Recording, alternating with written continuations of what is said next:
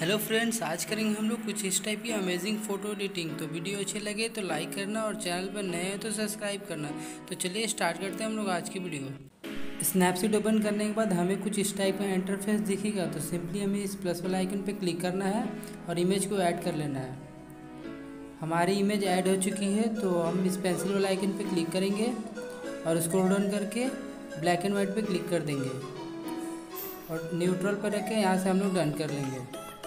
Edit history पे click करेंगे view edit पे क्लिक करके ब्लैक एंड वाइट पे क्लिक कर देंगे। मिडिल वाले ब्रश आइकन पे क्लिक करके ब्लैक एंड वाइट को हंड्रेड पे रख लेंगे और ग्रास को ब्लैक एंड वाइट कर लेंगे।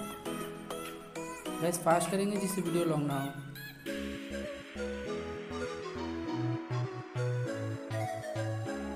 अच्छे से होने के बाद यहाँ से डन कर लेंगे। बैक चले जाएँगे। अगेन पेंसिल वाला आइकन पर क्लिक करेंगे। स्क्रॉल डाउन करके डबल एक्सपोजर पे क्लिक करेंगे। ऐड इमेज पे क्लिक करके बैकग्राउंड को ऐड कर लेंगे।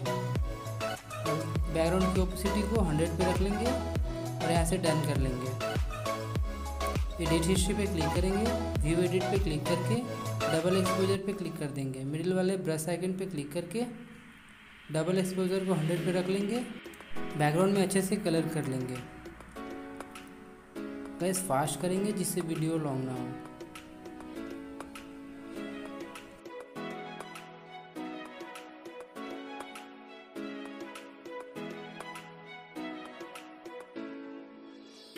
अच्छे से होने के बाद यहाँ से भी हम लोग डन कर लेंगे। बैक चले जाएँगे। अगेन पेंसिल वाला आइकन पे क्लिक करेंगे। स्क्रोल अप करके वाइट बैलेंस पे क्लिक कर देंगे। और टेम्परेचर को माइनस हंड्रेड कर लेंगे। और यहाँ से डन कर लेंगे। अगेन एडिट हिस्ट्री पे क्लिक करेंगे। व्यू एडिट पे क्लिक करके ब्लैक एंड वाइट पे क्लिक कर देंगे। मिडिल वाले ब्रश आइकन पे क्लिक करके ब्लैक एंड वाइट बैलेंस को हंड्रेड पे रख लेंगे और शर्ट पे अच्छे से कलर कर लेंगे। गाइस फास्ट करेंगे जिससे वीडियो लॉन्ग हो।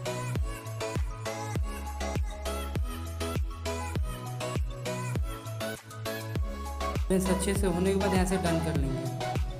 बैक चले जाएँगे।